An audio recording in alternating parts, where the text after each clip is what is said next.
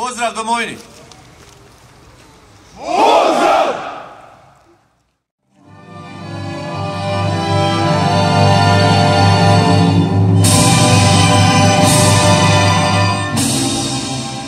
prinoseći miru i sigurnosti tamo na istočnim dijelovima područja odgovornosti NATO-a, vi doprinosite i miru i sigurnosti u Hrvatskoj i njenom okružju.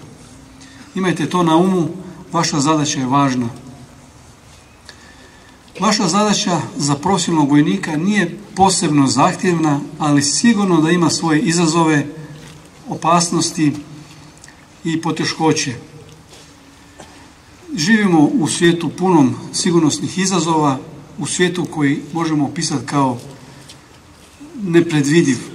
Stoga budite spremni na izazove, opasnosti i nepredvidive situacije. Znate kako vam to može sutra pomoć, međutim nemojte se nikad previše opustiti, nemojte spustiti svoj gard, pridržavajte se svih mjera, zakonitih mjera, pravilnika i propisa, posebno onih koji određuju mjere sigurnosti i zaštite, prije svega fizičke zaštite. Jer najvažnije od svega je da se vratite nakon izvršenja zadaće svojim najmilijima živi i zdravi.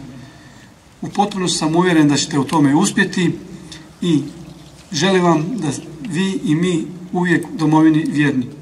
Hvala. U misiju uvijek na povratku kada ste se vraćali ocjene vas, to je Oružanih snaga Republike Hrvatske, pripadnika Oružanih snaga i uvijek bio odličan. Svi oni koji su s vama radili, surađivali s vašim prethodnicima i u svim drugim misijama, tako će naravno biti i s vama, svi uvijek kažu da je pripadnik Oružanih snaga Republike Hrvatske primjer vojnika. Upravo to čini našu, vas i našu naše oružane snage i vas kao pojedince, specifičnima u svim mojim aktivnostima kojima se nalazimo i sa drugim pripadnicima drugih oružanih snaga članica NATO-a. Ono što je ključno za reći, vi pripadate pobjedničkoj hrvatskoj vojsci. Vi ste nasljednici heroja domovinskog rata. Među vama ovdje vidim i oni koji su sigurno i bili pripadnici za vrijeme domovinskog rata oružanih snaga. Vi mladi koji ste, vi ste njihovi nasljednici. Nasljednici ste najvećih heroja domovinskog rata, oni koji su stvarali i stvorili neovisnu i samostalnu Republiku Hrvatsku. To nikad nemojte zaboraviti i taj ponos i tu čast zauvijek će nositi hrvatski vojnik i pripadnik oružanih snaga.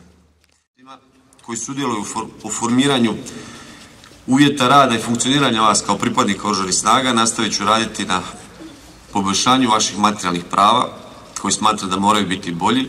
Nešto smo potom i napravili kad se konkretno tiče upravo naših misija, o to znate, još u 12. mjesecu smo radili nešto po tom pitanju i nastavit ćemo raditi i dalje.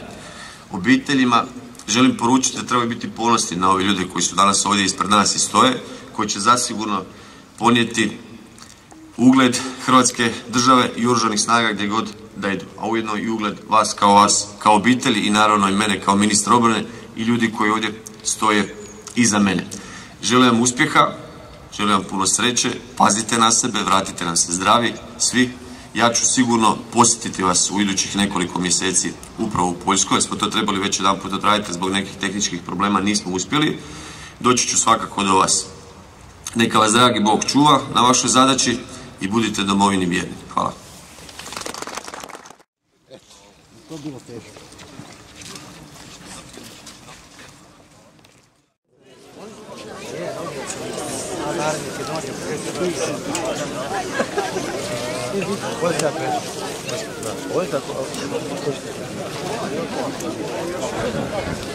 Zamišljam sam da ide pije.